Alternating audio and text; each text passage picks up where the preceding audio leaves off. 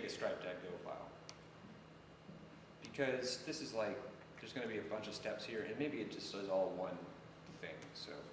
Stripe go, package, uh, I think I called this stripe example. The double E's there kind of throw me off. Um, so we'll have const uh, stripe API key equal the thing I got from the docs. Uh, so these, these need to be your, this needs to be your Stripe API key. And I showed you where to get it, but it's in the docs too. So in, in this stripe.com slash docs slash tutorials slash charges, this is it. That's the API key. Um, Okay, so that'll be our, our first step is to get that Stripe API key. Uh, and then if we look at their example, they get a token, the Stripe token. We got that. We have that from the, what we just did. And then they make this charge. Okay. So how do we do that in Go? Uh, well, let's make a function called charge account. G, not chart account. I did that last time. Charge account. Um, what, what is this guy going to take? Gonna take the token? It will take the token, so stripe token string. I think it needs to take other things. Is it also, I think it also needs to take a context. will it need the, uh, Stripe API key? No, we got that right there, saved above. Uh, it's going to take something else, but for now, let's just do this. Um, stripe token, and then an error maybe. So charge account takes a context. That's how we'll make our HTTP calls. And then it takes a Stripe token and then error. Okay. So Stripe's API is, a, is an HTTP API. So to make the charge on Stripe, we have to make an HTTP request to their API. Now they have a library which does those requests for us, uh, but that is what it's doing underneath. And so because of that, because it's an HTTP API, we have to use URL fetch, okay? Because remember, on App Engine, I can't make an HTTP request. I have to make it through the service, the URL fetch service, okay? Uh, But remember also that in Go, that returns an HTTP client that's the same as the other HTTP client. So it, it can be very easily integrated uh, because the, the library hides that. It's abstracting that away. Um, so we see here they have this stripe charge. They have something very similar in Go. Uh, I can find it here. Charges. Create a charge. To charge a credit card, create a charge object. If your API key is in test mode, the supply payment source won't actually be charged, though everything else will occur as in live mode. Um, so we say charge.new, and here's the example we have. Um, so you, you give it charge parameters. This will tell you the amount, the currency, description. Here's our key. You'll set the source, and this is the token. And then you'll say charge.new, give it parameters, and it will make the charge. I think we have to do something additional here, but, um, let me see if I can find that. Well, let's just do this for now, and then we'll swap it out, okay? So does this make sense, the basic steps here? We have our key. Tell, tell me about the ANS drive charge param, so that kind of looks, I mean, that looks like a struct to me, right? is, it is a struct. Okay, This is creating the, the things that you'll pass to new. and, and uh, stripe is the package, and so in the package stripe, there's a struct called charge params Yep. that's already been created, so we're saying create an instance of charge params? That's right. Okay, And it's a pointer yeah, for the ampersand. But that's because that's what we do. So it's like creating a charge, here are all the settings, all the options for the charge. and in description there, could we, if we wanted to like elaborate just for documentation or whatever, because I imagine this would all be stored on their server since we're sending it to them. Can we put in the, oh, sorry, go back up. Hmm. No, no, but here's the description. Oh, can we Our put in description another, best. s- okay, what is it? You can attach to a charge object, it is displayed in the web interface, okay? So that's what, Okay, we- okay, so it's displayed. shows up in that alongside dashboard. Alongside the charge. yeah, and so that's just for our own reference. Maybe you put a reference number, maybe you put the account ID Okay. something like that. reference number would be good, probably not. Um, and we'll see maybe in a second, well, a bit, how to make this more full-fledged. Um, but let's just, uh, we'll just do the charge for now. Um, this is kind of funny. Minimum amount is fifty cents. They have to make some money. They charge you thirty cents every transaction, flat, mm-hmm. Yeah. flat, straight out, and then two point nine percent on top of that, and then two percent foreign. Yeah, it gets oh, Currency crazy. So basically, that's the minimum before you actually see any money spirit that sets that, so you're not losing Yeah. money on transaction. Yeah. That's about fifty cents. Okay. So, positive integer in the smallest currency unit. So in US dollars, it's cents, and in yen, it's yen. That's interesting. Yeah, that's basically what's up. Holy cow, they support a lot of currencies. I didn't know you could do that. That's kind of cool. Uh, What's that big from? I'm pretty sure they support Bitcoin even too. Bitcoin. Uh, okay, so Bitcoin is special because Bitcoin has no fees. So, okay, so we can create this. So we need to create the charge parameters. Uh, well, actually, we have the stripe.key equal. So, so what we want to do here is in an init, we'll say stripe.key equals this guy. So instead of the constant, we'll just set it this way. Okay. So uh, basically, we're storing the key in the Stripe instead, because it uses it. Is that key or you got a key? This is key. I mean, it resolved, so I'm assuming that's correct. Um, So I set the key to this thing I got from the docs. So that's the first step here, okay? The next step is to create this, so let's copy that. Uh, see. Okay, the amount, remember, is cents, so let's say a hundred times, and then we said two hundred thousand, right? So that's the amount um, that we want to charge. Two hundred, yeah, two hundred thousand dollars. And then there's the currency, and then the description, charge for testing. Okay. And then pass that to, oh, we gotta set the source. So here we go, set source. What's this gonna be? It's the token that was returned from the JavaScript form earlier. Yeah, so stripe token. Then we can do new.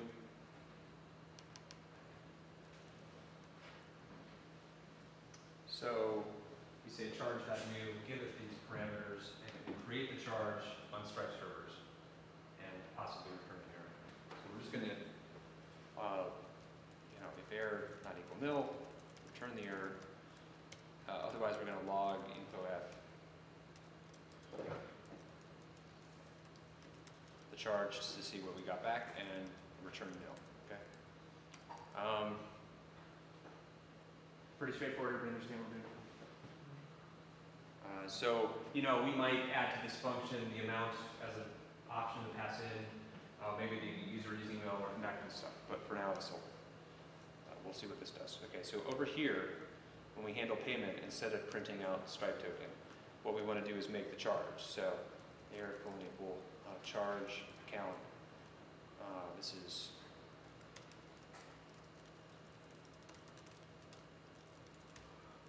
get the context, so that'll be that. And the Stripe token is Stripe token. And then fair not equal nil.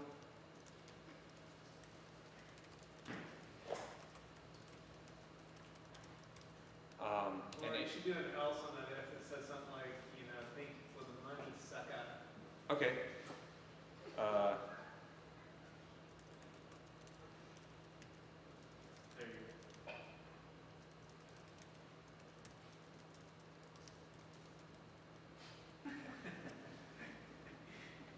Um, so if everything is great, that's what we'll print, but if it fails, then do this. Now, it can fail for legitimate reasons.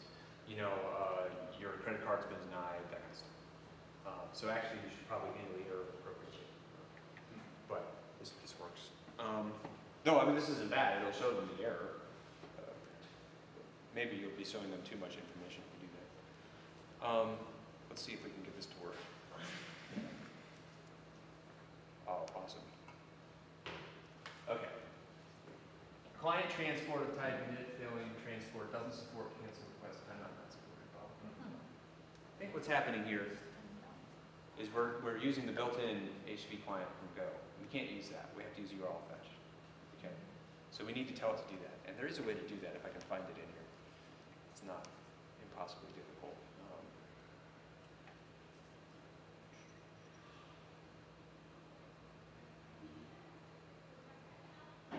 Man, I guess a lot of people aren't doing the, uh, using App Engine for this. Um, let me try GoDoc.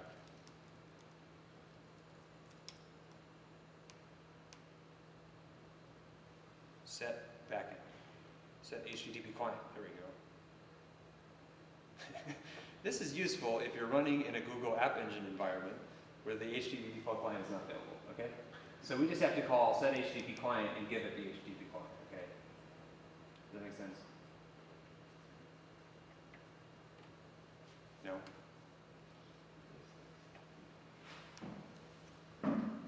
Um,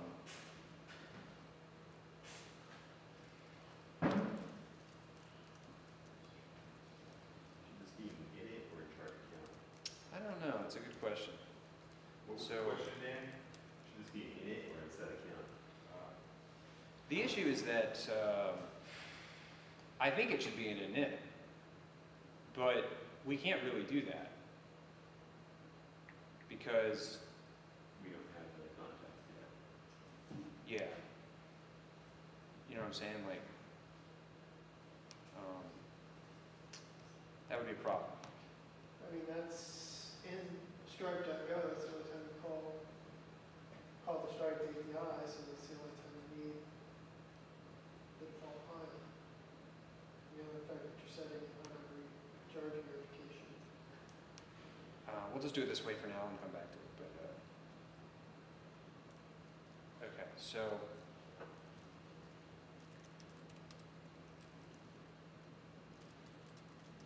remember that. So that's what we said here.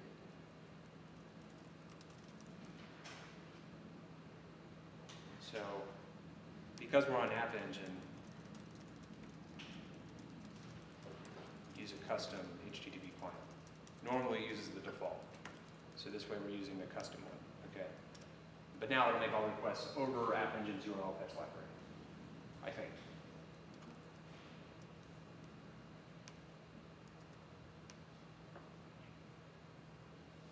There we go. Thank you for the money, sucker. Uh, what do we get now?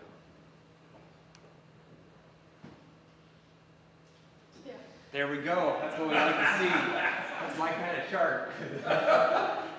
We're going straight up. Okay. Uh, we didn't create a customer.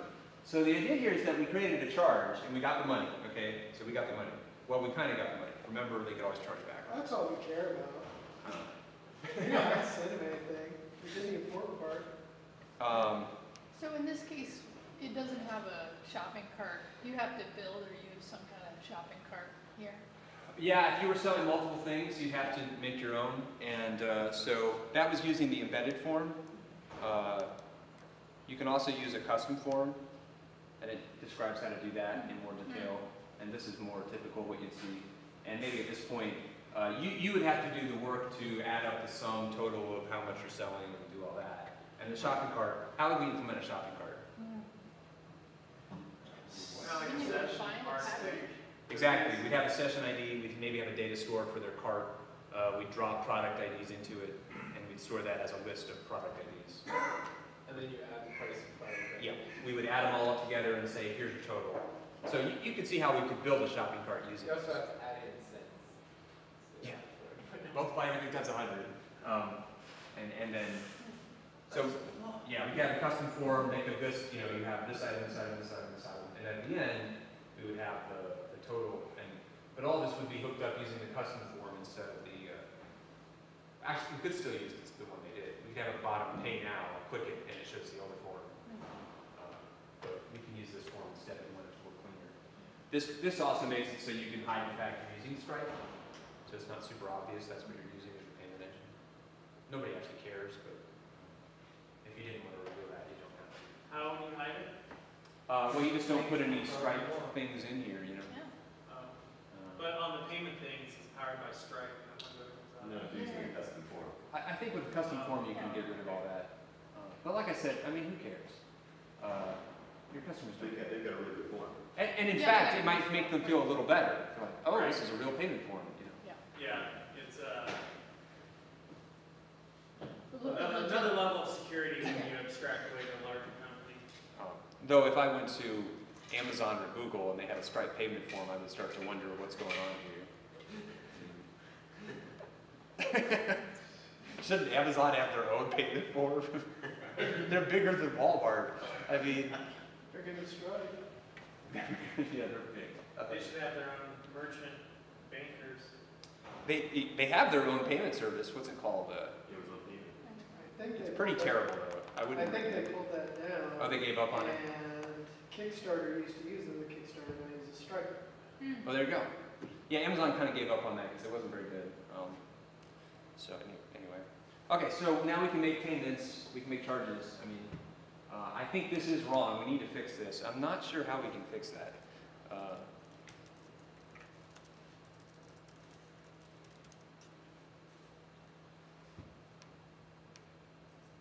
so I'm just googling this, and maybe one of these guys will tell you. Um,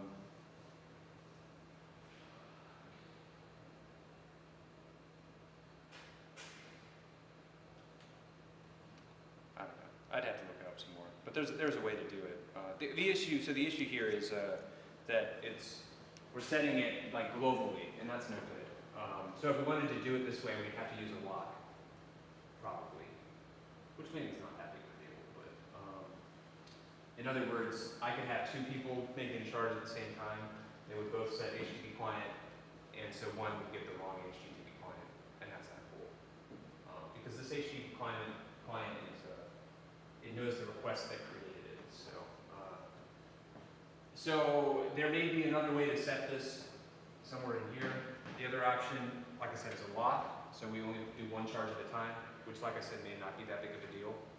Because if you're taking in thousands of charges per second, I mean, that would be a cool problem to have, right? Uh, That's unlikely to happen. Um, And the sort of the, uh third option would be to, uh, we might be able to use context.background. Uh, so the idea of context background is like a context that represents your application running, not a user. And perhaps you could use that instead of this context. You could say context.background. And we could try it, see what happens. Um, I suspect it won't work. So if you ever need a context, you can do it like this. Um,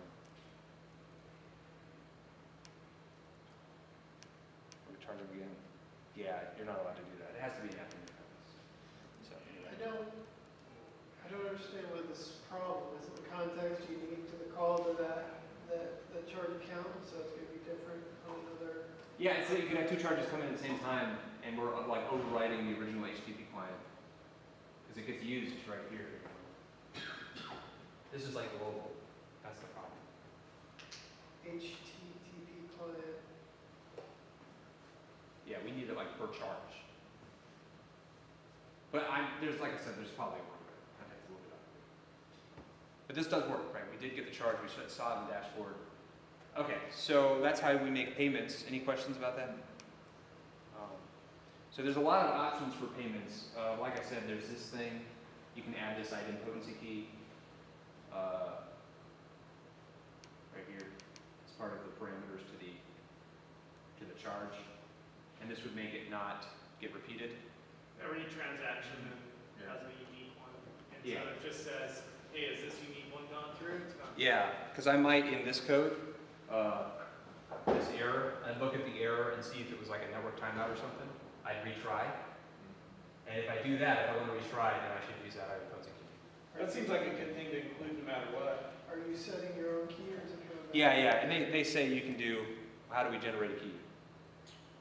You, you you go. They're remarkably useful things. Uh, and so You think if everybody used them for everything, you'd run out of them. There's just too many.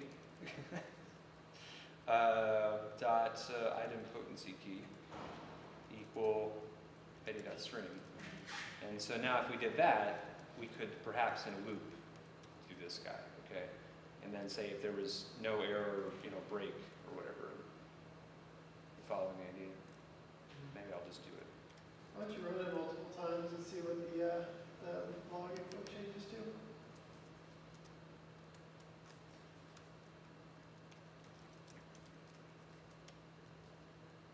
Um, so let's look up the errors on what it can return, because I don't, I don't know all the possible errors, and maybe there's a nice clean one that we can use uh, to make this easier. It doesn't say it here, it'll say it here. So there's stripe dash go slash charge, and that has this charging. So when we say new, new charge parameters, uh, you know, I don't know the errors it can return, but maybe there's a fraud report. That sounds dangerous. Um, yeah, I have to look at it more. Sometimes they document that kind of stuff, but they don't seem to appear. Oh, Holy cow. That's a surprising Fail amount of code in things. there. Huh? There was a fail code in that list.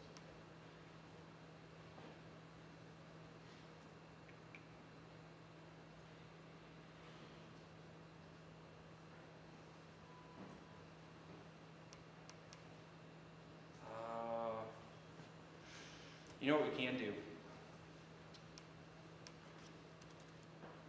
Air dot.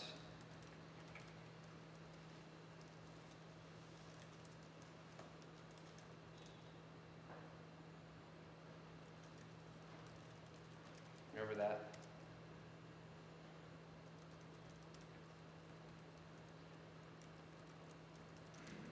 What is their temporary, So in the net package? There's a net error interface, this error interface, and it has within it a temporary, temporary function. So here's, here's what we're doing, we're saying, if there's an error, and if that error was a net error, a network error, and it's a temporary network error, then continue. But let's put a little bit of sleep in there. And retry. So, is it not net error? I thought it was. It is, go back, you're using, you need end error dot temporary. Oh, thank you. So, let me repeat that again. If there's an error, and if that error is a net error, this is an assertion, a passing assertion, where we're saying, this error is a net error. We're asserting that it is that. That's when you put the parentheses and the type. Where does end error come from? And that's what we're creating, right? So we're saying, When we do the assertion, the okay here is whether the assertion succeeded or not. And if it succeeded, then this will be set to a net error. That'll be the type of thing, okay? Um, and so this is how you can take an interface and turn it into a particular type. So if I have an interface, curly brace, curly brace, I can turn it into, say, int by saying, um, so if I have, try, var x interface curly brace, curly brace, equals 10. What is x's type? I'm gonna float sixty-four in, proper in. Um, so x's type is interface, that's the type has. Okay? And so I cannot do, uh, you know, I can't say,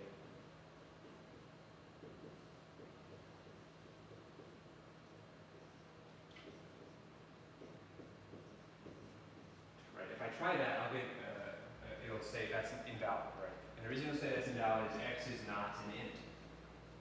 X is an interface. And you can't do addition with an interface. You can only do addition with an int, okay? Um, so how do we make this work? How do we make it so that I can do this? That's, that's the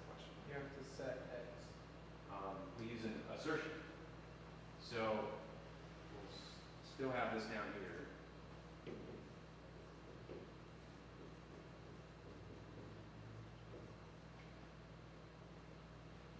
Uh, and so now we'll have to call y plus one hundred. And the question is, how do I get y? Right? So how do I get, so the interface is uh, any type, okay? Y colon equal X dot N. Yeah, exactly. Dot, and then parentheses the type name. Could you also cast X? That is the cast. Uh, we can't do a conversion. We can't say int and then parentheses x. Okay, because that won't work. There is no conversion from interface to int. Uh, but you can do a cast assertion. Right? So And if there is no int in there, what happens? this will panic. And there's no, there's no way to check in advance. So in the way this is written right here, this panics if x is a string. So if I have, that's going to panic. But how do you check in Your program advance? crashed. There's no error. So it has two ways. You can do it this way, or you can say comma, okay. And then okay will be true or false. So in this case, y will be, so, so this code we have rx interface equal, and then in quotes 10, and then we say y comma okay colon equal x dot, and then parentheses int. What is this going to do?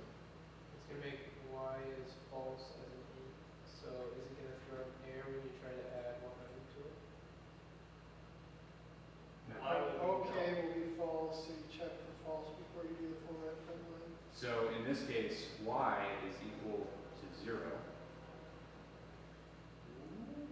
It's an int. You know, its type is. So it returns whether it's okay. How- do I know it's an int? it makes a return safe. Is it an int because you tried to cast X into it? That's exactly right. So this type becomes this. Okay? Um, So. That's so how I know it's an example, an error will become a net dot error. That's correct. Whether air is true or false. yes. Uh, so why is y zero? Because that's the Because- default value for an int. That's right. That's the default value. So what's the value of okay? False. False. So when, so in the two uh, return type form, if okay is false, then whatever was on the other side becomes a zero value for what this side is. So y here is an int. Okay failed because it's not a string, so it gets just to its default value, its zero value, which is zero. Okay. So this prints 100. Now if I change this to a 10, now what does it do? Okay is true and it prints hundred ten. Yeah, exactly, right? Because now y will be this value? So we're like taking an interface and getting to its underlying type, the real thing, the concrete type, okay? Um, because an interface can be any type, and it can store anything inside of it, okay? Uh, actually, it's whatever the method set is of the interface. So in order for, this is the empty interface, so it can be any, because everything has no methods at least. Uh, but if it had one method in it, then anything on this side would have to have that method so in the case of error, error uh, is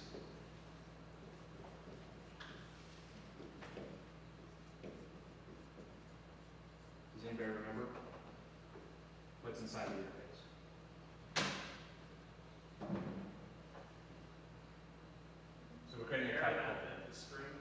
Exactly. It's E R R O R string. So if I use error instead of interface here, this would be invalid. Why wouldn't that work? Because ten doesn't have the error method. Exactly. Because integers don't have an error method. Okay? But if they did, then I could assign it. So when I have an empty interface, it's like I'm allowed to assign anything to this. When I have an interface with some methods, it's like I'm only allowed to assign things that have those methods to this. Okay? But either way, interfaces are never a thing in, in and of themselves. They always store something else, right? Uh, they're like pointers that way. Okay? So x here is an interface that points to another value 10, right? And so if you imagine here's a box x, and it's just pointing to this thing, okay? And this guy is like pulling that thing out of the box. But it does so using a cat, so you're saying, uh, get the underlying thing as an int. And then we have the two forms to say, did that work or not? Because if it didn't work, I want to know that, and that's what I'm doing here. I'm saying, error is type error, I know that, but I don't know necessarily what kind of error it is. And so I'm saying, is it a net error? And the reason I want a net error is it has this nice method.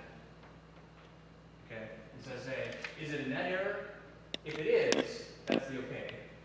Then I know, what if, what if okay is false? What is the value of an error? It's zero, or it's whatever the default value for error, that. Right. What's the default value for uh, an interface?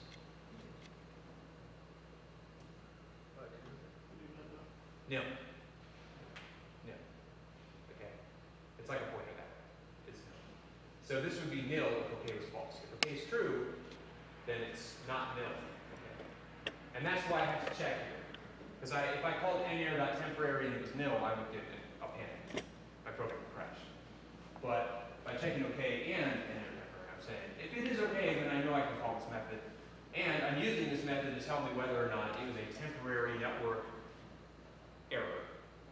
Because a temporary network error would indicate maybe I can retry and it'll succeed, right? Um, and that's what I'm doing. Sleep a little and try again later. Uh, and then if I try again, it should work. And so all of that to say that's how we implement the idempotency key. Uh, because now since it's the same ID the next time around, because say, say this, uh, I got an error, but actually the request went all the way through to Stripe, and they did make the charge, but for some reason it failed at the last second, or whatever, the last bit of it failed. So the charge actually went through, but they just failed to send me back that it went through. Um, if that happened, then this would prevent it from happening again. Uh, so that's a good thing. It's, it's the same as when you're like on, a, on your browser and you go to a store or something, you buy something, and then your network crashes, and you're like, did I actually buy it?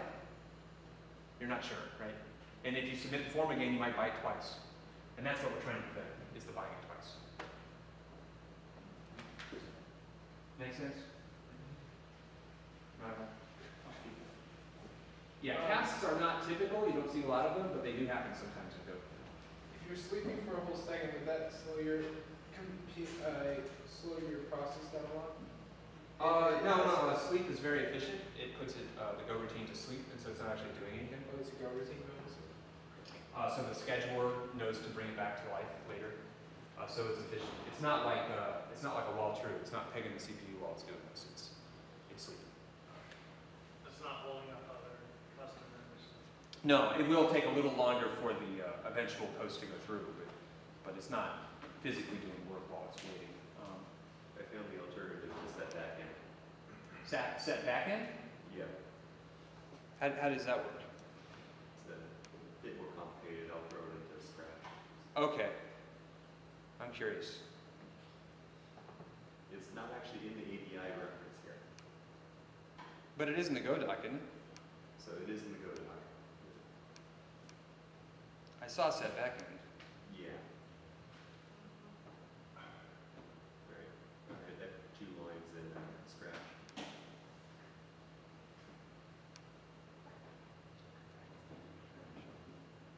So you create, you create a chart of client Oh. use the, use the client dot, use the C dot new instead of the client, instead of chart dot new.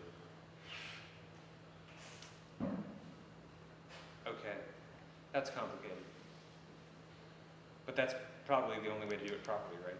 Yeah. I'm surprised I don't have an easier way of doing this. Oh, what the?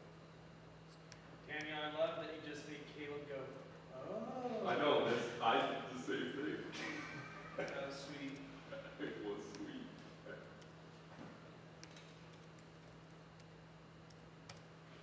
Okay, so that's the same. So now we create a backend, and then we use the back end as part of the charge, we can't just have it here? No. So you have to say charge colon equal. Oh, it's not. It's a client. Charge client. The key is the secret key. Oh. That's your. That's our. That's um, stripe.key, back end is B. And then you use charge client.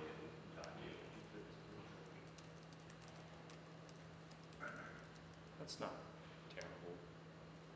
No, this is, why is it called B? I don't know. I should call it back end. Uh, Why do they call context C in the Go docs? Uh, because it's short, I mean, this, this is like part of your public API, you probably want that to be longer. Uh, but calling it be here, it's just a local variable, so. uh, But yeah. Uh, so we create a backend configuration and then use it as part of this. That's not quite as clean as the other one, but it's, it's only three more lines of code, so maybe that's not that bad. Or maybe four. Right. Any questions about that? Um, That'll be better if you have more than one person who buys things at the same time from our two hundred thousand dollar uh, charge. Yeah, okay. All right, so we did idempotency key, uh, that's kind of advanced. You know, if you didn't have it, you probably would never have the problem. And like I said, you have the two guys who fix all your problems, so just leverage them, uh, when it breaks. Um, there's other things we can do, part of that is a customer, so let me just talk about that real quick. You can, I think that's described in these docs a little better.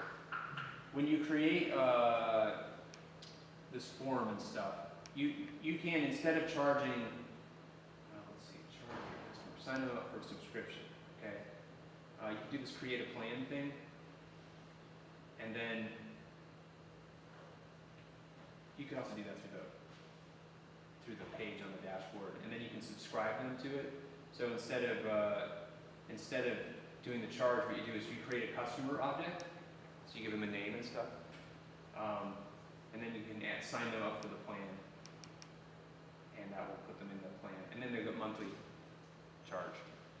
Um, so if, if, so if you're on, um, you know, you're signing up for Spotify or whatever, you, you'd probably sign up for a plan instead of a charge.